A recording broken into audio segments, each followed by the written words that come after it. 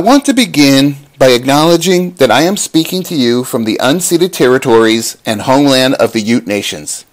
This part of what is now called Colorado has also been home to Apache, Arapaho, Comanche, and Cheyenne.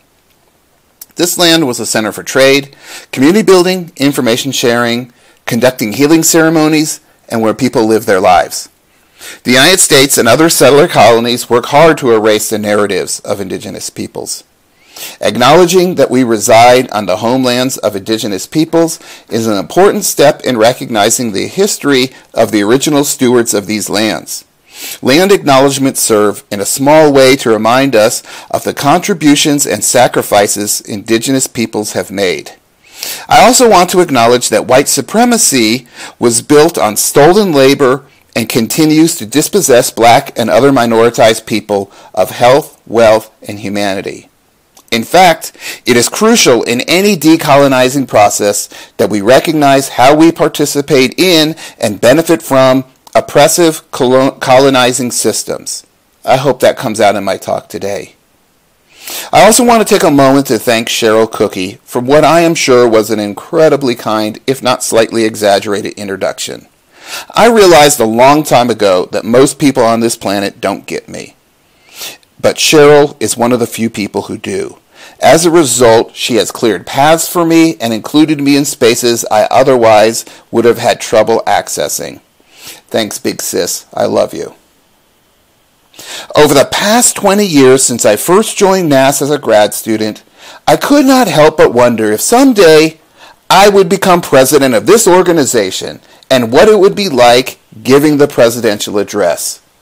As I stare into my computer monitor days before the virtual conference and even before the U.S. election, I can say it is everything I ever imagined. It feels like a long time since last year's conference and Dr. Akilah Carter Francique's amazing transcendent talk. In my address today, I'd like to use this opportunity to draw together different strands of my research to understand the world we are experiencing now. As Dr. Cornel West recently said, to see clearly so that we better know how to direct our fire. Like, I imagine all of you, I have gazed upon the past year with horror and befuddlement. Being a sociologist, I have tried to make sense of it. And my sense making has been situated within what I currently study, which is NFL marketing. In this talk, I want to see what the NFL's incorporation of racial justice rhetoric and recognition of state violence against black people can tell us about contemporary white supremacy and racial capitalism. Since I had a hard time deciding where to, to start, I decided to start with the NFL's 2020 season opener. When the NFL announced that it would perform Lift Every Voice and Sing before the first game of the 2020 season, many people reacted to the announcement as the NFL pandering to black audiences. Of course, it is pandering, but it is also worth taking seriously. For those unfamiliar, Lift Every Voice and Sing became known as the black national anthem in the early 20th century after being adopted by the NAACP and endorsed by Booker T. Washington. Performed in black churches and HBCUs amongst ever, other places ever since, it has remained a part of U.S. black culture. The NFL performance of Lift Every Voice and Sing is profoundly ironic, and not just because it includes images of Colin Kaepernick. Featuring narration by actor and producer Anthony Mackie and sung by Alicia Keys, the NFL chose the LA Coliseum as the site for the performance. The Coliseum might seem like an unusual location for the video since it's no longer an NFL stadium. However, the LA Coliseum is actually a profound site to set the video. In 1972, Stax Records used the Coliseum to host Wattstax, a fundraiser for the Watts community seven years after the 1965 uprising. The documentary captures the revolutionary essence of the song through a visual montage of images of oppression in a dialectical back and forth struggle with images of resistance. The montage begins with images of slavery and Jim Crow racism.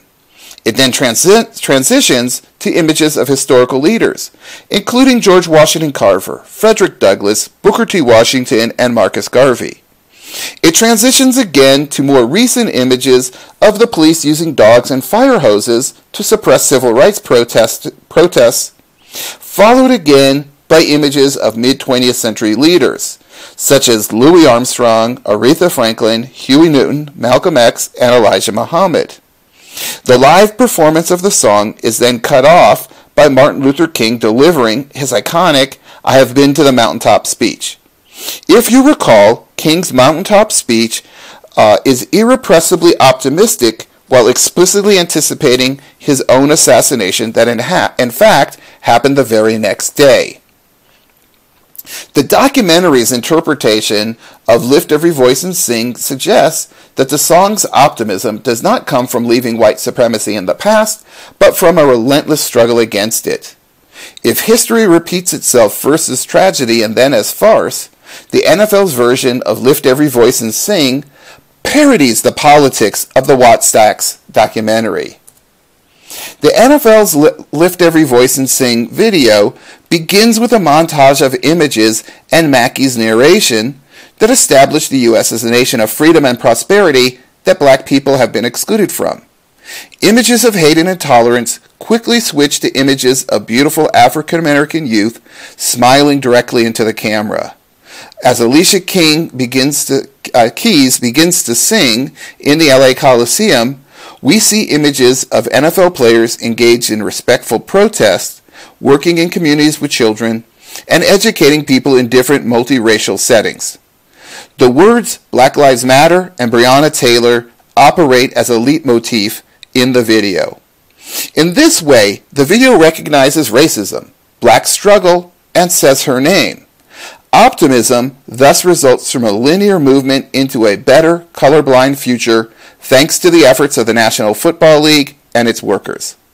By situating black resistance in a familiar narrative of nation, the United States is a nation constantly moving towards greater freedom, the NFL video hollows out the dialectical tension between oppression and struggle in the Wattstack documentary, just as COVID 19 hollowed out NFL stadiums.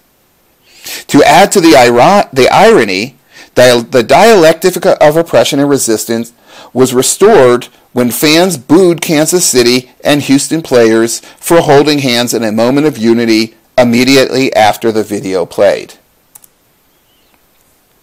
The NFL's rendition of Lift Every Voice and Sing is structurally similar to the NBA commercial The Truth Is Black Lives Matter that came out earlier in the year. The marketing platform Ace Metrix found The Truth Is earned its highest A score of all BLM themed commercials as of July 2020. Their conclusion, like lots of other advertisers over the past few years, is that socially conscious marketing works.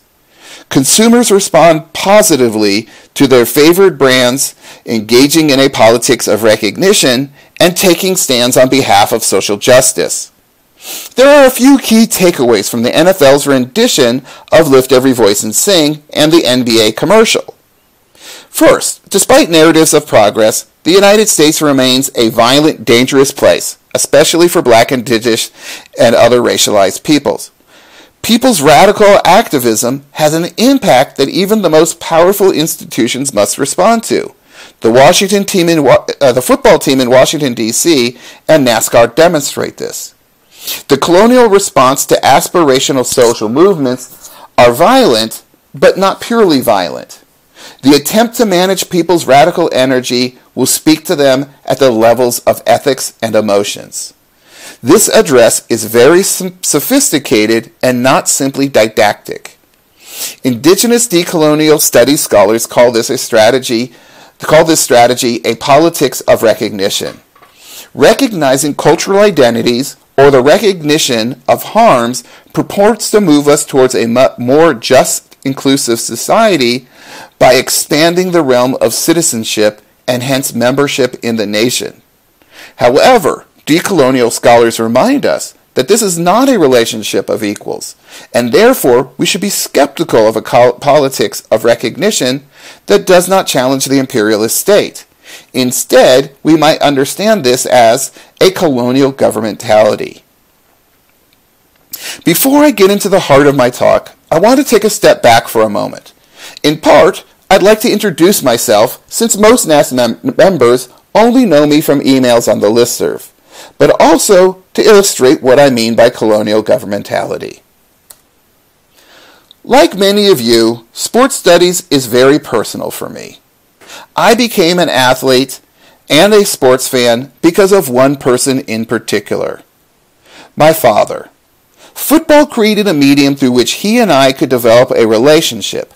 Hours upon hours spent watching and discussing football provided a foundation to the relationship we still maintain. However, this is not a story of patrilineal sport descendants. You see, my paternal grandfather was born in Mexico and really wasn't a big football fan when my father was young. Instead, my father was taught football at the Thomas Indian School as a ward of New York State. Originally named the Thomas Asylum for Orphaned and Destitute Indian Children, Thomas was part of the larger uh, of the United States' larger shift to gentle, gentle colonization. This is a more accurate representation of the school since it was a functioning dairy farm. Schooling was used to take the children of indigenous nations and convert them into U.S. citizens who would then be routed into the lowest rungs of the working class and the military. The mission of the boarding school, as most of you probably know, was kill the Indian, save the man. This had replaced the older slogan, the only good Indian is a dead Indian. As such, sport, like agricultural labor, was not an option for the boys. They played football in the fall, basketball in the winter, baseball in the spring, and were taken into the chapel to watch boxing matches on the television. Sport was a pleasurable realm of colonial administration. This points to the subjective dimension of colonial governmentality. My father and the boys he played with found great pleasure and empowerment in playing football. It gave them the opportunity to engage in state sanctioned violence against the settler children that lived all around them. They grudgingly won the recognition of those kids, but it did not challenge settler colonialism. The power and pleasure discovered in football tied their identities to oppressive colonial practices, the state, higher education, and the market. What this means is that because my father brought me into U.S. citizenship in part through a shared passion for football, colonial governmentality is sedimented in my very soul. This is something I have tried to honor in my scholarship by building a career that critiques football and U.S. imperialism. What I have attempted to do in my scholarship is use imperialism as a central category of analysis through which I have studied sport. I believe using imperialism as a frame of analysis allows me to engage in intersectional analyses that locate identities within political economy and colonial administration. The anti-imperialist frame was present in my first book, Discipline and Indulgence, that used the study of the Cold War to comment on the so-called global war on terror. Beyond a not so subtle reference to a certain dead French philosopher, the title attempts to capture the U.S.'s two-pronged foreign policy throughout the Cold War and football's place within U.S. imperialism. The first prong was a military strategy that led to the, indus- the military industrial complex and millions of deaths globally. Discipline is not just important to the military and football, but across different productive institutions, from Fordist manufacturing to schooling. The second prong of U.S. po- foreign policy was the development of consumer culture, from entertainment to kitchen appliances. Whereas the military prong to contain the Soviet Union to limited spheres of influence was violent, the cultural prong gave a, gave a vision of a consumerist utopia embedded in the American way of life. Despite Glasnost and the fall of the Berlin Wall, many aspects of the Cold War never ended and this is because U.S. imperialism continued unabated. What I hope discipline indulgence shows is militarism and consumerism are twin heads of U.S. imperialism. Militarism mobilizes naked coercive force. Consumerism mobilizes ideological forces that foster identities consistent with the needs of capital and attempts to minimize resistance to capitalist domination, as well as soaking up surpluses of mass production. We can understand this through Manning Marable's statement that capitalism is based on fraud and force. Fraud is the ideological force that says freedom and opportunity are only possible within capitalism when that reality is in fact materially impossible to most people. Force emerges when the fraud is revealed and people need to be forced back into line. In sports, sociology, we do a very good job of analyzing and critiquing the ideological forces of capitalism, which is, in fact, mostly what I do in this talk. However, we need to remain mindful that militarism is a structural reality of imperialism which makes violence a constant feature of everyday life. As Marable suggests, fraud and force remain in constant dialectical tension. When discussing governmentalities, it's easy to overlook the violence endemic to imperialism, as Mary McDonald rightly said about discipline and indulgence. As many NASSS scholars have pointed out, the ascendance of neoliberal capitalism in the 1970s has led to increasing levels of exploitation and inequalities. We have simultaneously seen the growth of the prison industrial complex and the militarization of police forces. Throughout this period, race has been a key tool in splitting the working classes. Downward economic mobility of white workers from deindustrialization and the weakening of labor consistently gets blamed on workers colonized within the system. Since at least the 1990s, this has presaged the rise of survivalist and white supremacist groups in the U.S. We cannot view the deaths of George Floyd, Ahmaud Arbery, Breonna Taylor, Vanessa Guillen, and so many others as accidents, coincidences, or otherwise aberrations to an otherwise just system. The fear produced by abstract random violence by the state and vigilantes to whom the state has delegated the rights of racial violence is central to the operation of racial capitalism. It stabilizes crises caused by resistance to racial capitalism. Cedric Robinson used the term racial capitalism to argue that racial and economic domination are inseparable, two sides of the same oppressive coin. His larger point is that rather than negate feudalism, capitalism brought feudal racial hierarchies into the political and economic order of the modern world. In other, word, in other words, feudal strategies of accumulation were repurposed and updated under new conditions. So just as serfs and Slavs had taken the natural role of slaves in feudalism, people of the global south became natural slaves under capitalist imperialism. Or as I tell my students, racial capitalism puts the system in systemic racism. What we have witnessed this past year is a series of challenges to racial capitalism. Radical black activism is the Achilles heel of U.S. imperialism and white supremacy. The protests in the streets gave athletic activists courage and opportunity to engage in far more radical industrial actions than Kaepernick's iconic protests. When Naomi Osaka, NBA teams, or the University of Missouri football team engage in wildcat strikes for racial justice, they recognize themselves as workers with interests beyond their own personal bread and butter concerns.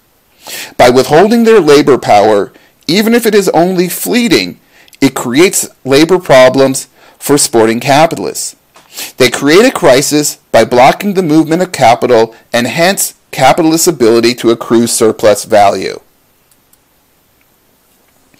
Sporting activist protests against state violence in communities of color is fundamentally an attack upon racial capitalism.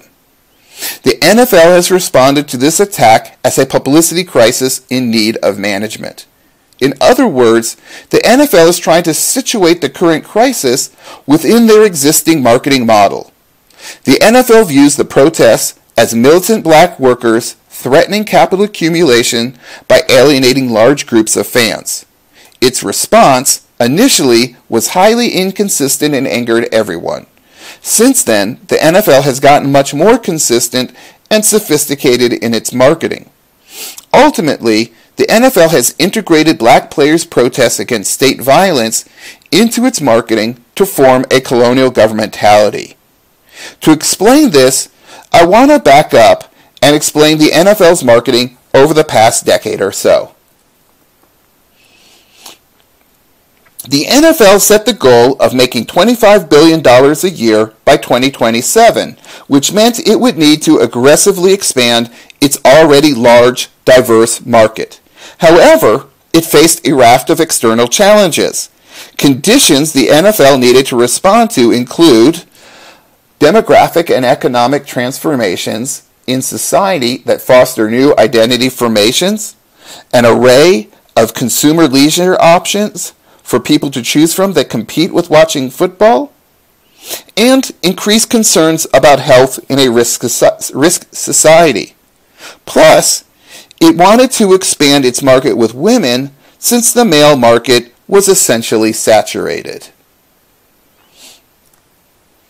Drawing on marketing theories of experience, the NFL developed a powerful emotional marketing strategy. First, with its Together We Make Football campaign, its marketing discourse drew a connection between football, community, and family. Its more recent Football is Family campaign gets to the central pleasurable experience of sports fandom. This implies that football is central to the emotional connections in our families, amongst our friends, and in our communities. It suggests we are all the children of football. Through programs such as USA Football and Heads Up Football, the NFL has argued that the game can not only be made safe through improved techniques and technology, it is actually healthy. Ultimately, the NFL responded to growing competition, changing demographics, increased health concerns, and addressing new market segments by appearing more diverse and inclusive, by offering more entertaining products that have greater production quality, and most importantly, with the argument that not only can football be made more safe, it is actually healthy to individuals, families, and communities. The black player players' protests and the conservative reactions to the protests, including tweets and speeches by the U.S. president, disrupted the happy story the NFL was telling. Its reactions were contradictory attempts to appease both its liberal and conservative fans, as well as its mostly black on field workers, the peoples whose labor actually generates those billions of dollars. It seemed to constantly switch from a position of tolerance to cracking down on its ungrateful, which is code for uppity, workers. Over time, and especially this year, the NFL has gone beyond a position of tolerance of the protests to incorporating the protests into its spectacle. We should not think that Roger Goodell suddenly woke up to black pain, but understand the shift as a strategic response to both the players' protests and the mass protests in the streets, as well as pressure from sponsors. What I consider the NFL's first step in incorporating the protests was the My Cause, My Cleats initiative. My Cause, My Cleats allowed players to put statements of support for causes of their own choice on their shoes. Generally, these were shout outs to different nonprofits. My initial reaction was that My Cause, My Cleats attempts to dilute the players' focus on state violence into lots of other good causes.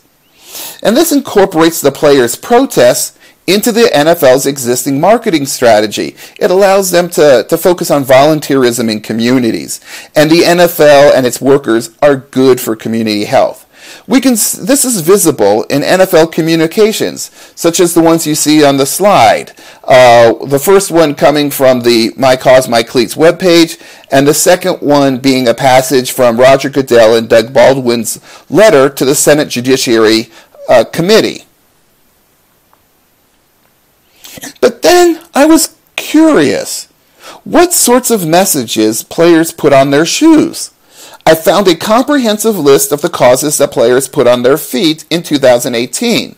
790 players put 805 messages on their 1,580 feet. As you can see, 45% listed physical and mental health causes. These included breast cancer, lupus, brain tumors, suicide, ongoing medical research, and so forth. 27% listed youth welfare causes, and this included mentoring, free breakfast, youth athletics, and more. So almost three quarters of the causes fall into two categories that were not directly related to the players' protests against state violence and instead are more consistent with the NFL's traditional corporate social responsibility marketing. The rest of the categories I developed when coding the messages are listed on the right hand column. You can see that messages directly related to the protests, police violence, and criminal justice reform only made up 1% of the statements. And within that 1%, several were in support of the Ross Initiative in Sport for Equality that was founded by Miami Dolphins owner Stephen Ross, and that includes former NFL Commissioner Paul Tagliabue on its board. So even the messaging of worker activists that wanted to further the protest through My Cause, My Cleats were articulated through NFL messaging and organizations. What the numbers show is that, in fact, My Cause, My Cleats appropriates the radical energy of black NFL players in a feel good initiative that doubles as NFL marketing. I don't mean to put down any of the foundations or initiatives supported by the players or the players' good intentions.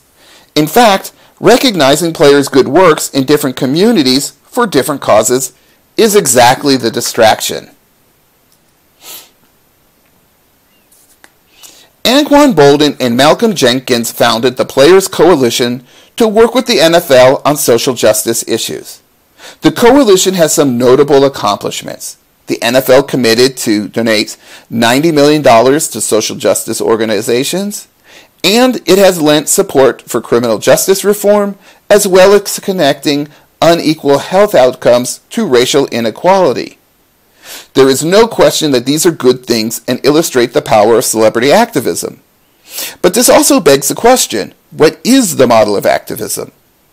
I see the Players Coalition as an example of what gets called the nonprofit industrial complex, a set of relationships whereby people on the ground doing social justice work get funded by foundations and private corporations via 501c3 status.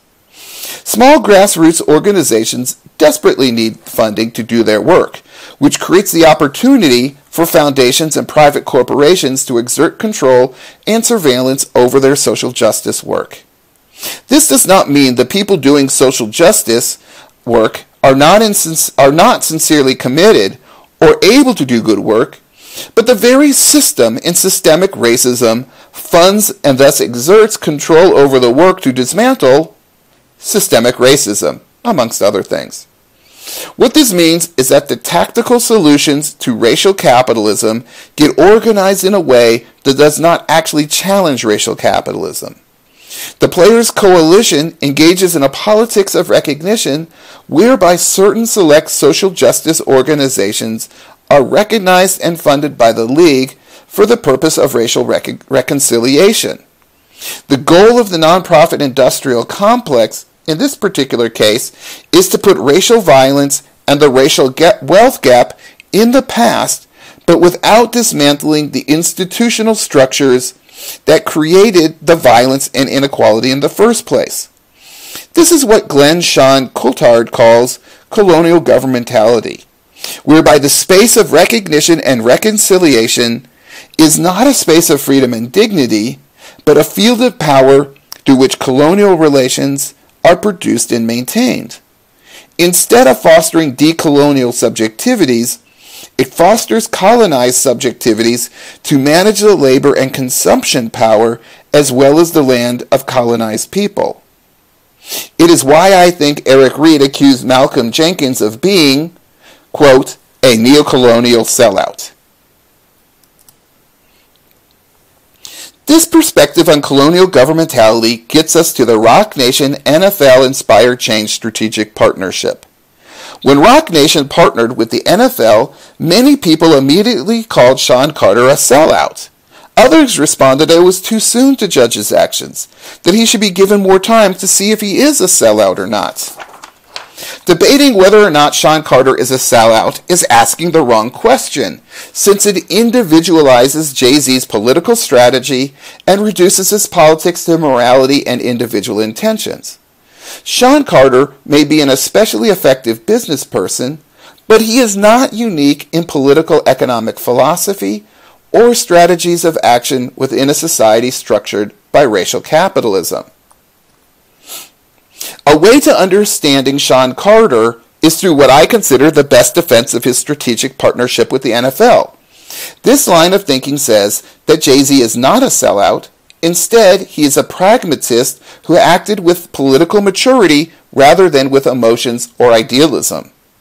Michael Eric Dyson provided what I think is the best example of the maturity defense. Dyson makes a one two argument of what he sees as a natural progression of effective social movements. He begins by equating Kaepernick and Jay Z to Malcolm X and Martin Luther King. He argues that, quote, those pairs reflect an eternal tension. The outside agitator, agitators who apply pressure and the inside activators who patrol the, house, the halls of power, bringing knowledge and wisdom. We don't choose between one or the other, he continues. We need the outsider applying pressure so the insider can get things done. He then pivots to argue that Jay Z actually reflects not King, but Jesse Jackson, who extended King's activism by suing corporations to achieve civil rights gains. He states, quote, this reflected a shift in civil rights strategy from street protests to suite participation. Jackson leveraged the threat of boycotts and the rhetoric of persuasion to get more blacks placed on corporate boards, compel banks and major companies to direct more business to minority owned contractors, and help integrate more black and other minority folk into the nation's economic power base. He then explains, quote, Jay did not write off protests when he said we are past kneeling. He simply cast Kaepernick as a runner in a relay race rather than a boxer fighting alone in the ring. The evidence of, suge- of success that Dyson offers is the amount of money the NFL now donates to social justice causes. While I've already argued how Inspire Change operates within the nonprofit industrial complex, I also want to add that Dyson's defense of Shawn Carter indicates a philosophical orientation towards racial justice. As Brentin Mock states, there are those who see justice in terms of truth, fairness, and equity. And then, then there are those who see it in terms of wealth, power, and equity. The latter group tend to be pragmatists impatient with abstract goods like rights and equality. If asked to choose between a Lexus or justice, they would answer justice is forming a partnership with Lexus. In other words, people that Marable calls opportunists want to use the market to achieve social justice since the problem apparently is a lack of wealth by itself. Buying in becomes what is defined as mature political action. But buying into the system in this situation is using black capitalism as an antidote to racial capitalism. People outside of the United States may not be very familiar with black capitalism. The political and economic philosophy that would eventually get called black capitalism first emerged after the Civil War as a strategy of economic development for freed slaves. In a social context of violent exclusion, that led to the creation of black banks. The idea is to control the flow of black wealth. By keeping black wealth within the black community, it would foster the black community's economic development. A core tenet of black capitalism is investment in black ownership and entrepreneurialism. This is expressed in slogans such as Buy Black and Bank Black. It is important to recognize that black ownership and entrepreneurialism goes beyond economic development. It also became a force of community pride and esteem amidst extraordinarily oppressive and stigmatizing conditions. The idea of building parallel institutions that cater to a specific racial or ethnic group in a segregated society is not unique to the black community. In the 19th and early 20th centuries, building racial and ethnic businesses within segregated ghettos was a common sup- response to white supremacy. For instance, how many people have heard of the Bank of Italy? But we need to keep in mind that segregation is not just social, it is also economic, which gets us to the limitation of black capitalism within a virulently anti black capitalist society. ethnic Europeans like Jews and Italians became fully white in the 20th century, which allowed them and their capital to leave the ethnic ghetto. And so, the Bank of Italy became the Bank of America, which I suspect everyone is familiar with. Mehrsa Baradaran states, the truth was that segregated communities could not segregate their money. In fact, black banks, which were created to control the black dollar, became the very mechanism through which black money flowed out of the black community and into the mainstream white economy. I want to be clear. My understanding is primarily based on the works of black intellectuals that breaks into two historical periods the late 60s and early 1970s,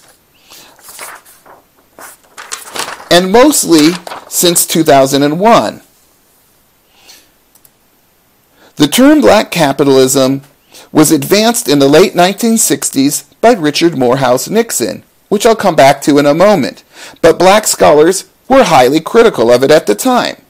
In particular, Andrew Brimmer, who was no radical, argued that black capitalism was doomed to, strip to failure for structural reasons. We then see a renewed interest in black capitalism following Robert Weems' work in 2001 that showed Nixon saw black capitalism, uh, black radicals, excuse me, as an internal threat to national sovereignty during the Cold War.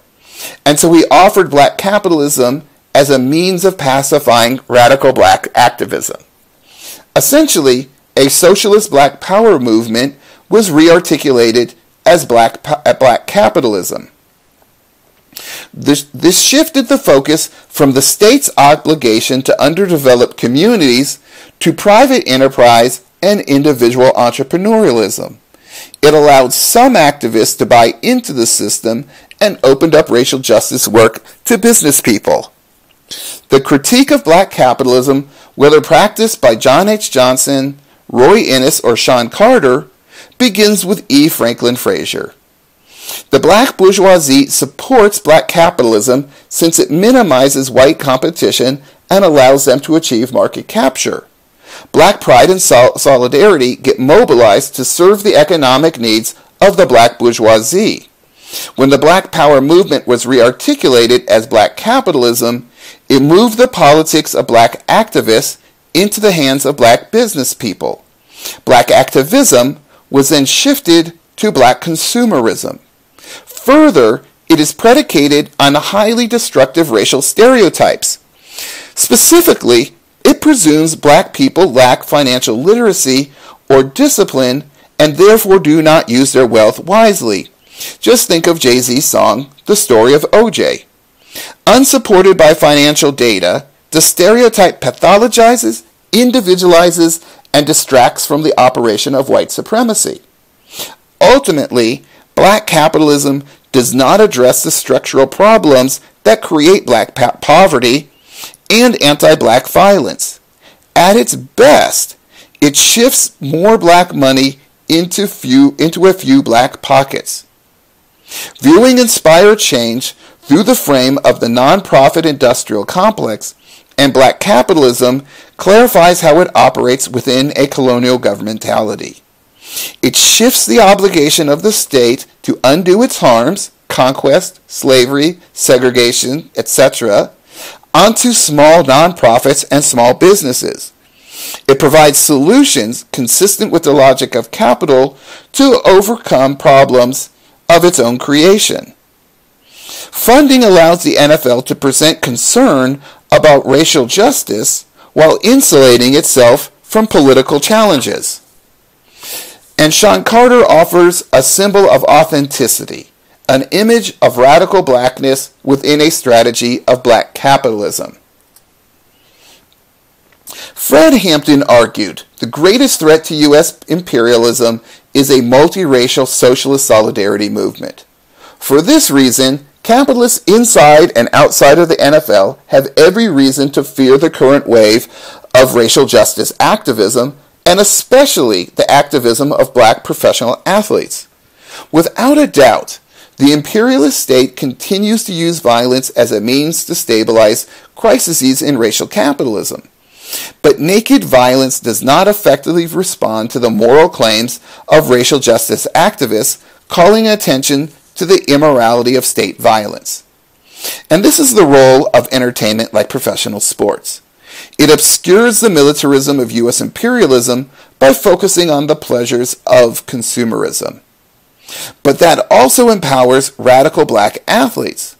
When professional sports leagues are dependent upon black, black workers, who often come from communities pinched in the vice like grip of white supremacy, they have the ability to challenge the consumerist illusion.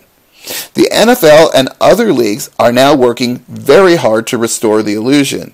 Whether it's pre approved social justice statements, playing Lift Every Voice and Sing alongside the Star Spangled Banner, or providing limited funding for nonprofits doing the work that the state should be doing, they engage in a politics of recognition rather than decolonial practice. Hiring black entrepreneurs like Shawn Carter provides a sheen of authentic blackness on old practices. Like my father teaching me to love gridiron fo- football, this is a kind of colonial governmentality, whereby the liberatory energy of ra- radical black politics is routed into the very system in systemic racism. As Manning Marable reminds us, there is no path to liberation within, within capitalism and imperialism. As I wrote the previous slide to conclude my talk, I wondered what paths outside of capitalism are available to us. So I turned to the theme of this year's conference change agents and W.E.B. Du Bois. It turns out Du Bois, among many other African American intellectuals, including A. Philip Randolph, Marcus Garvey, E. Franklin Frazier, Nannie Helen Burroughs, Ella Baker, Fannie Lou Hamer, and John Lewis, all advocated for black cooperatives. That discovery led me to Jessica Gordon Nembhard's incredible book, Collective Courage A History of Af- African American Cooperative Economic Thought and Practice. Nembhard shows that there is a buried history in the United States of black people organizing collectively and cooperatively to not just survive white, white supremacy, but to prosper. While organizing collectively does not have to be anti capitalist, it often is because it is fundamentally about community empowerment and solidarity. It pools a community's wealth to overcome barriers. It provides a means of keeping the, work, the, the wealth workers generate in the hands of workers. And it fosters workplace democracy. I see this as a subject for further research since the idea of sports cooperatives is fairly new to me, although I am familiar with the Green Bay Packers, and I could not find much research on sports cooperatives. I do see this as a useful focus for further research since a successful global cooperative movement already exists. It is consistent with indigenous and traditional economic organization. It can chart a non capitalist path. And not only are sports already cooperative, but sports cooperatives could foster healthier forms of sport, such as what Jay Coakley calls people's sport, or other models of sport outside the dominant elite model. So hopefully, I will be able to talk to you about successful sport cooperatives in the future. Thank you so much for taking this time to listen to my talk, and I look forward to a productive conversation with you.